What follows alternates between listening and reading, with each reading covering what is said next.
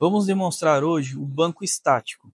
É um modelo que não tem amortecimento, mas tem algumas regulagens. Esse modelo foi configurado para o Axor, ou Atego. Ele é composto com bandeja de fixação, trilhos de deslocamento, cunha, que é uma base inclinada, base de altura, e ele tem o sistema de inclinação e ajuste de altura do assento. Aqui estão as peças desmembradas desse banco cunha, trilhos e bandejas para fixação no assoalho do Axor. Essa base é uma base de altura que pode ser instalada em alguns caminhões e máquinas.